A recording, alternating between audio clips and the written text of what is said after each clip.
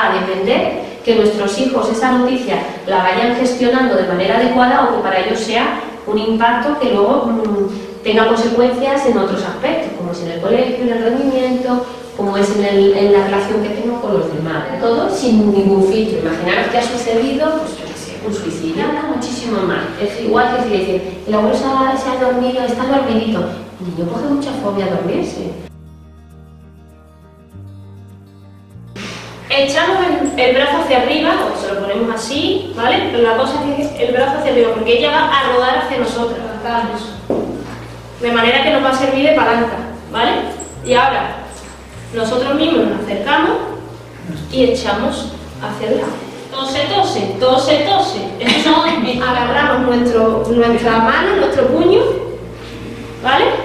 Y a la vez que apretamos hacia adentro, impulsamos hacia arriba hacia adentro y hacia arriba y se la abrimos un poquito. Y el niño está tosiendo, tosiendo y tú a la vez estás dándole. Lo pones aquí para estar más segura y le estás dando, ¿vale? De esa manera, mientras estamos viendo, oyendo y sintiendo, también podemos ver en la boca si tiene algo. Por si nos da nociones de que, mira, se ha tomado un caramelo y tiene restos de caramelo o lo que sea. Pero bueno, nos puede dar nociones a que ha podido ser un atragantamiento. Sandra, ¿es tan importante dar las malas noticias a los niños? Pues sí, es muy importante darlas de, una manera correcta para que los niños puedan procesar eh, la pérdida del ser querido, porque si no podemos encontrarnos que a la larga pueden surgir problemas que necesiten más atención.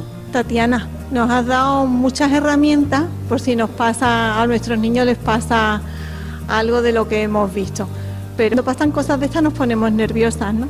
Sí, os ponéis bastante nerviosos y no solo vosotros, sino también los sanitarios nos ponemos bastante nerviosos, pero bueno, tenemos también una serie de herramientas que nos hacen que, bueno, que, podamos actuar con, mente más fría. Lo que sí que es verdad que, que gracias a, a, los cursos de primeros auxilios y las charlas de primeros auxilios que se están dando poquito a poco, pues nos, nos están ayudando a saber qué es lo que hay que hacer y, poquito a poco pues ir concienciándonos de que, de que claro de que esas cosas sí que pueden pasar y que y cómo afrontarlas cada vez que nos ocurra algo de eso.